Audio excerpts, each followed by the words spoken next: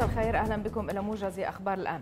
أكد وزير الدولة للشؤون الخارجية في الإمارات أنور قرقاش أن الدول الأربع المقاطعة لقطر كانت منذ اليوم الأول قالت إن حل الأزمة مع الدوحة هو دبلوماسي وأضاف في تغريدات له على تويتر أن فزع الدوحة وهشاشة موقفها وراء الترويج لأوهام الخيار العسكري. قال مصدر أمني في محافظة كركوك العراقية إنه تم تفجير مخزون للنفط بقصف جوي يتبع لتنظيم داعش جنوب غربي المدينة.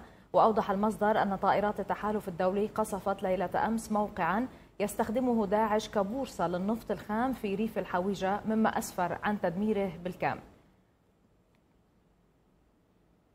قتل أكثر من 140 مسلحا من الانقلابيين بينهم قيادات ميدانية في معارك بشمال اليمن بحسب ما أعلن الجيش اليمني. وأكد في بيان صحفي على سقوط حوثيين في مختلف الجبهات منذ الجمعة الماضية. بينهم 75 سقطوا في ميدي خلال محاولات مستمرة من أفراد الحوثي لاستعادة مواقع. أحكم الجيش الوطني سيطرته عليها مؤخراً. يبحث وزير الخارجية الروسي سيرجي لافروف مع نظيره الفرنسي جان إيف لودريان في موسكو عددا من القضايا الدولية على رأسها الأزمتان في سوريا وليبيا. وقال لافروف إن التقارب بين السراج وحفتر من شأنه المساعدة على إيجاد حل في ليبيا وأنه لا خيار لحل أزمة كوريا الشمالية إلا الحل الدبلوماسي. فيما أكد لودريان على أنه يجب وقف استخدام السلاح الكيماوي وقطع الدعم على الإرهابيين في سوريا.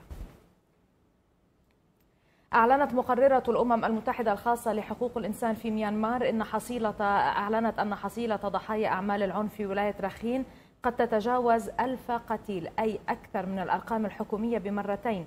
هذا وهاجم مسلحون من الروهينجا عشرات من مواقع الشرطة وقاعدة للجيش يوم الخامس والعشرين من آب أغسطس.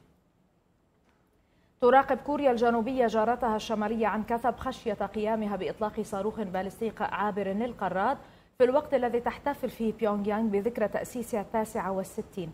ورجحت كوريا الجنوبية أن تطلق بيونغ يانغ صاروخا عابرا للقارات السبت أو في تاريخ قريب من العاشر من أكتوبر المقبل.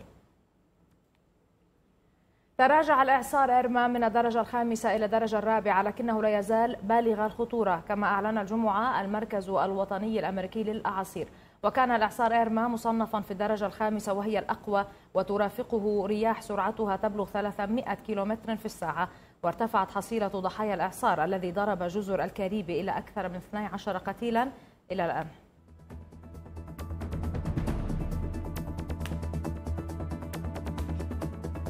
Шукран.